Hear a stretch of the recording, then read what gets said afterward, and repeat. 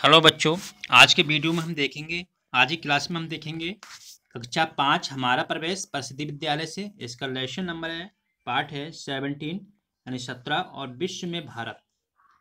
तो बहुत ही अच्छा पाठ है हम, विश्व में हमारे भारत की क्या स्थिति है तो उसके संबंध में हम इस वीडियो में नई नई जानकारी जानकारी प्राप्त करेंगे तो सभी बच्चे पाठ के लिए ध्यानपूर्वक सुनेंगे और पढ़ेंगे। उसके साथ जो यूपी टेट की तैयारी कर रहे हैं, उनके लिए भी खास वीडियो इम्पोर्टेंट है, क्योंकि इसमें से एक दो नंबर का बस आता है। इसलिए वो भी बहुत वीडियो को ध्यानपूर्वक देखें और पाठ के लिए लर्न करें। करते हैं प्रारंभ आज का पाठ।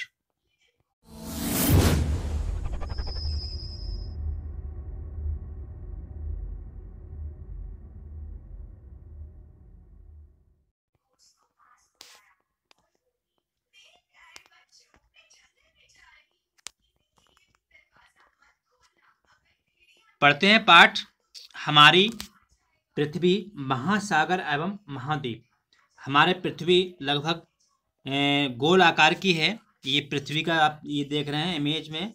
ये पृथ्वी इसको हम उत्तरी ध्रुव बोलते हैं और इसके लिए हम दक्षिणी ध्रुव बोलते हैं। तो गेंद जैसा गोल आकार का लघु प्रतिरूप मॉडल यानी ग्लोब कहलाता है। हम अपनी पृथ्वी ग्लोब कहते हैं। आइए ग्लोब को देखें। ग्लोब पर अनेक रंग बिरंगी आकृतियाँ बनी हैं, ये आकृतियाँ पृथ्वी और महाद्वीपों एवं महासागरों को दिखाती हैं। ग्लोब का अधिकांश भाग नीले रंग से रंगा दिखाई दे रहा है। ये भाग पृथ्वी पर विशाल जल राशियों अथवा महासागरों को प्रदर्शित करता है। शेष भाग स्थल को दर्शाता है। हमारे पृथ्वी के लगभग इकहत्तर प्रतिशत भाग पर जल एवं शेष लगभग उनतीस प्रतिशत भाग पर स्थल है। बड़े बड़े स्थलीय भाग महाद्वीप हैं और महाद्वीप महासागरों द्वारा अलग किए जाते हैं। ये हमारे जो पृथ्वी का चित्र है, वो आप जो देख रहे हैं, यहाँ पे ये पूरा, यहाँ सब दिया हुआ है इसमें। एशिया, यूरोप, उत्तरी अमेरिका, प्रशांत महासागर, अटलांटिक महासागर और अटलांटिका, हिंद महासागर, प्रशांत महासागर, ये ऑस्ट्रेलिया है, भारत हमारा ये है और एशिया ये देख रहे होगा यूरोप है ये, उत्तरी अमेरिका है, ये दक्षिण अमेरिका है। तो ये हमारा विश्व का सीन है चित्र है। इसके बाद पढ़ते हैं, पृथ्वी पर पाँच महासागर एवं सात महाद्वीप हैं। नोट कर लेंगे बात। पाँच महासागर एवं सात महाद्वीप हैं। आज ग्लोब एवं विश्व के मानचित्र पर इन्हें पहचान। पृथ्वी पर पाँच महासागर, क्रमशः प्रशांत महासागर, अटलांटिक महासागर और हिंद महासागर और आर्टिका महासागर। एवं दक्षिणीय महासागर है। इनमें से प्रशांत महासागर सर्वाधिक विस्तृत है एवं सबसे गहरा है। ये संपूर्ण पृथ्वी के लगभग एक तिहाई भाग पर फैला है इसका सबसे गहरा स्थान मेरयाना गर्त है, जो लगभग ग्यारह किलोमीटर गहरा है। इसे भी जान लेंगे, ग्लोब का का कागज़ पर समतल प्रस्तुतिकरण मानचित्र कहलाता है। पृथ्वी पर बहुत बड़े स्थल खंडों को महाद्वीप एवं विशाल जल राशियों को महासागर कहते हैं। अब पढ़ते हैं आगे। पृथ्वी के लगभग उनतीस प्रतिशत भाग पर फैला स्थल सात महाद्वीपों में विभाजित है। ये महाद्वीप क्रमशः एशिया, यूरोप, अफ्रीका उत्तरी अमेरिका, दक्षिणी अमेरिका, ऑस्ट्रेलिया एवं अंटार्कटिका है। इनमें एशिया सबसे बड़ा महाद्वीप है। हिमालय पर्वत पर स्थित विश्व की सर्वोच्च पर्वत चोटी, माउंट एवरेस्ट एवरेस्ट इसी महाद्वीप पर है। इसकी ऊंचाई आठ हज़ार आठ सौ अड़तालीस मीटर है।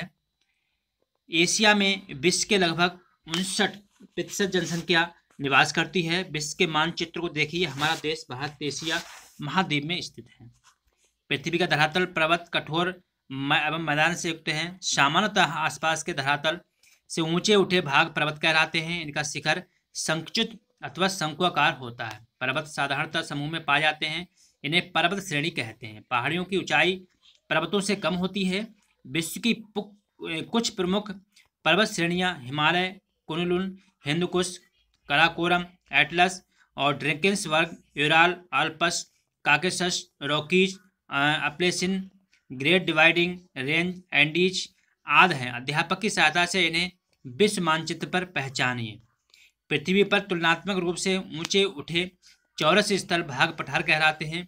प्राय पठार की का ऊपरी भाग ऊबड़ खाबड़ होता है। इनके किनारे सामान्यतः खड़े ढाल वाले होते हैं। पिछली कक्षा में आप पढ़ चुके हैं कि हमारे प्रदेश का दक्षिणी पट भाग पठार है। विश्व के कुछ प्रमुख पठार, पामीर का पठार तिब्बत का पठार, भारत में दक्कन का पठार, ईरान का पठार, अरब का पठार और कोलोरेडो पठार, कोलंबिया पठार, ब्राज़ील की उच्च भूमि बोलबिया का पठार एवं पश्चिम ऑस्ट्रेलिया का पठार। अफ्रीका, महाद्वीप का अधिकांश भाग पठारी है। इन पठारों को विश्व मानचित्र पर पहचाने। धरातल पर समतल परंतु निचला भाग मैदान कहलाता है। प्राय मैदान का निर्माण नदियों द्वारा लाई गई मिट्टी से होता है। आप पिछली कक्षा में उत्तर प्रदेश के मैदानी भाग के बारे में जानकारी प्राप्त कर चुके हो। विश्व के कुछ प्रमुख मैदान सिंधु गंगा, ब्रह्मपुत्र का मैदान, यूरोप का मध्यवर्ती मैदान, उत्तरी अमेरिका का मध्यवर्ती मैदान हुआ गहो का मैदान आदि हैं। अध्यापक की सहायता से इन्हें विश्व मानचित्र पर पहचानी। विश्व की कुछ प्रमुख नदियाँ गंगा, सिंधु, सतलज, ब्रह्मपुत्र, यमुना, गोदावरी, इरावदी और मिकांग या हांगोहो नील, Zaire, Zambezi, Limpopo Parana Paraguay, Amazon, Mississippi, Missouri और सेटला डेश टेन्यूब टेम्स, रायन, गोलगा आदि हैं। नील नदी विश्व की सबसे लंबी नदी है।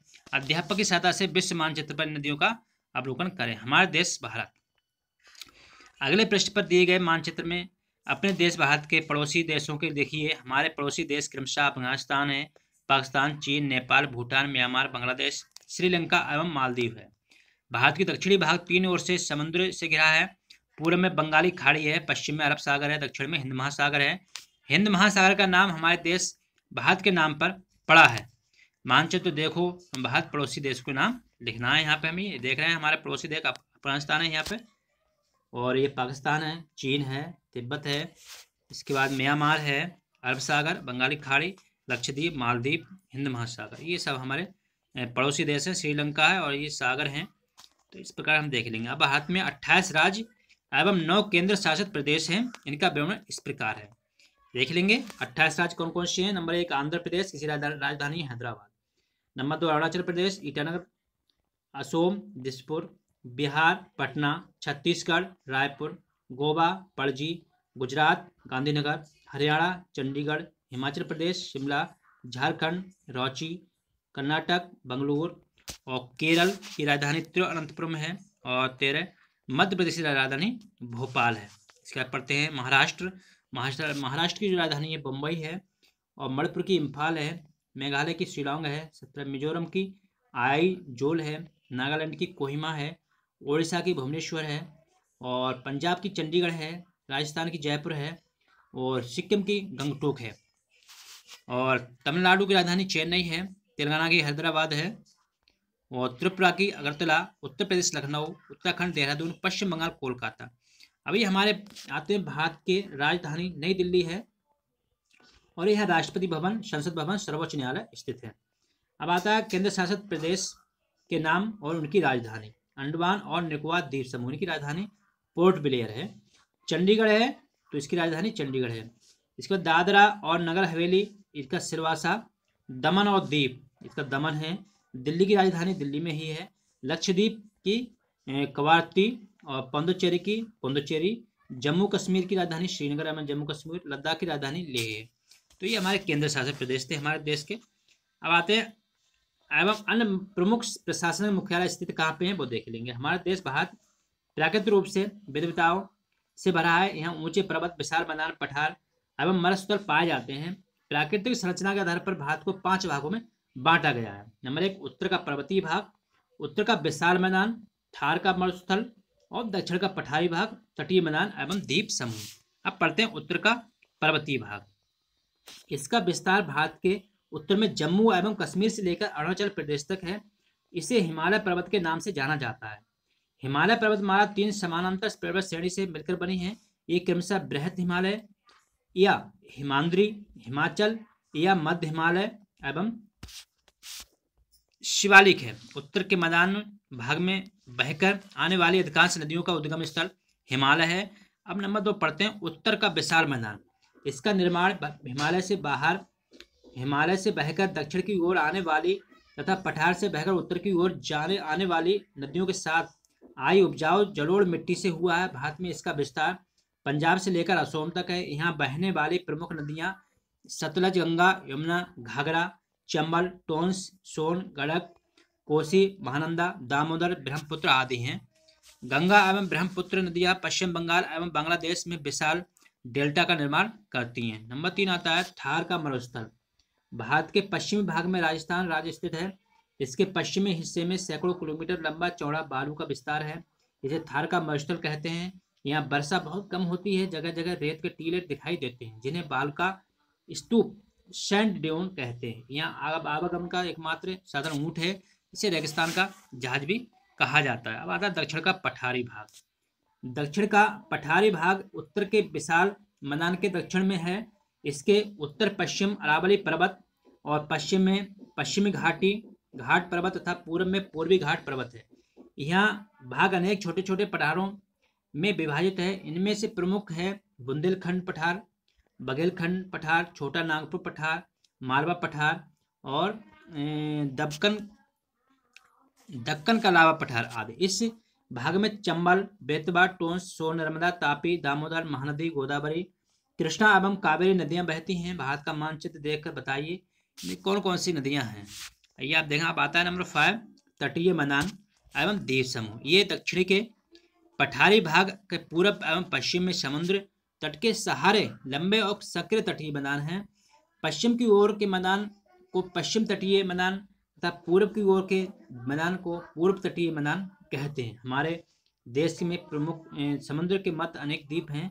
कई द्वीपों के समूह को, द्वीप समूह कहते हैं। बंगाली खाड़ी में अंडमान और निकोबार द्वीप समूह तथा अरब सागर में लक्षद्वीप समूह है। जिस प्रकार हमारे गाँव, जिस प्रकार हमारे देश में कई प्रकार के प्राकृतिक विभाग उसी तरह के यहाँ के पेड़ पौधों एवं जीव जंतुओं की विविधता पाई जाती है। हमारे देश में मुख्य रूप से पाँच प्रकार के वन पाए जाते हैं। नंबर एक सदाबहार वन, पतझड़ या पर्णपाती वन मरस्तुलीय या काटेदार वन, पर्वतीय वन और बेलांचली या डेल्टाई वन। अब आप पढ़ते हैं सदाबहार वन। पूरे साल हरे भरे रहने के कारण इन्हें सदाबहार वन कहते हैं। इस प्रकार के वन अधिक वर्षा वाले गर्म स्थानों पर पाए जाते हैं। ये वन अत्यंत घने होते हैं तथा जीव जंतुओं एवं वनस्पतियों में अत्यधिक विविधता पाई जाती है। भारत में इनका विस्तार पश्चिमी घाट, उत्तर पूर्वी क्षेत्र की पहाड़ियों एवं अंडमान और निकोबार द्वीप समूह में है। इन वनों में पाए जाने वाले प्रमुख वृक्ष रोजवुड, मोहगनी और रबड़, ताड़, बाँस, आबनूस, नारियल आदि हैं। अब पढ़ते हैं नंबर दो, पतझड़ या पर्णपाती वन।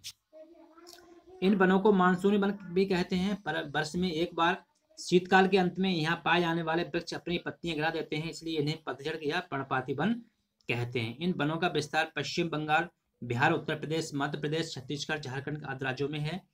इस प्रकार के वनों में शीशम, नीम, महुआ, बरगद, पीपल, औला, शेमल, प्लास, बेल, खैर आदि वृक्ष पाए जाते हैं। नंबर थ्री आता है मरुस्थलीय या कांटेदार वन।